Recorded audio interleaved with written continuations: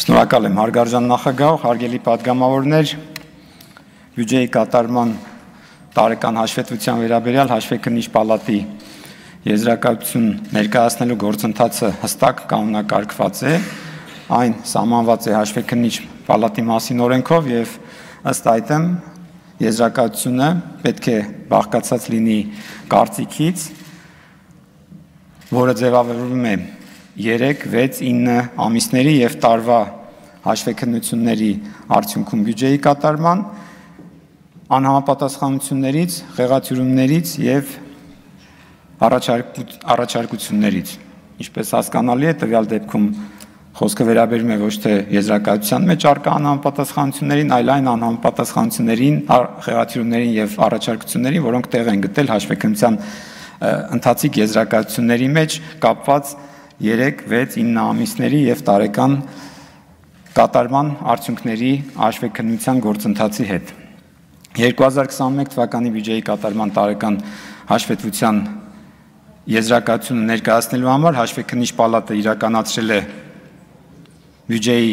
ծախսային մասի ավելի քան 91%-ի ծածկույթից ընտրանքի նկատմամբ 18 գերատեսչություններում 72 հաշվեկնություններ, որոնց Արդյունքում արձանագրվել են 138 անհամապատասխանություններ 13 գերատեսչություններում եւ բյուջեի ծախսային մասի շուրջ 0.15%-ական տոկոսին վերաբերող 26 խեղաթյուրումներ, որոնք տեղ են գտել բյուջեի կատարման հաշվետվությունների մեջ, 6 գերատեսչությունների հաշվեկնությունների ընթացիկ եզրակացություններում Հաշվեկնիչ պալատը 2021 թվականի հաշվեկնությունների ընթացքում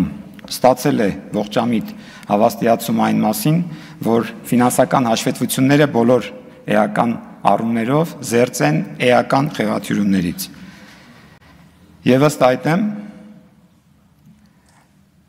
ներկայացրել է բյուջեի կատարման վերաբերյալ եզրակացություն։ Հարկ է նշել, որ ողջամիտ հավաստիացումը բարձր մակարդակի կամ ոչ բացարձակ հավաստիացում է։ Այն չի երաշխավորում, որ օրենքին եւ աուդիտի բարձրագույն մարմինների միջազգային ստանդարտների հիման վրա մշակված մեթոդաբանություններին համապատասխան իրականացված հաշվեկնությունը միշտ կհայտնաբերի էական խեղաթյուրումը, երբ այն արկա է։ Խեղաթյուրումները կարող են առաջանալ ինչպես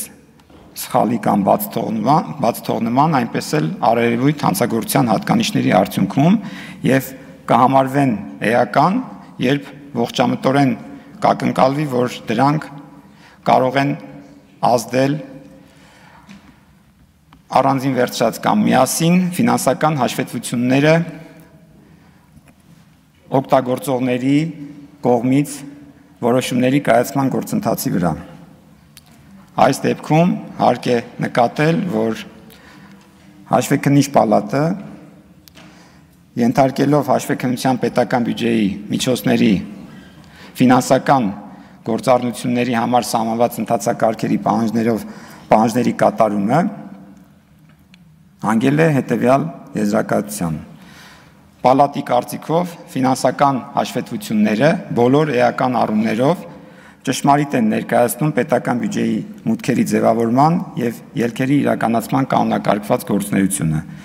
Ըստ այդմ հաշվեկնիչ պալատը 2021 թվականի պետական բյուջեի կատարման վերաբերյալ արտահայտում է դրական եզրահանգում։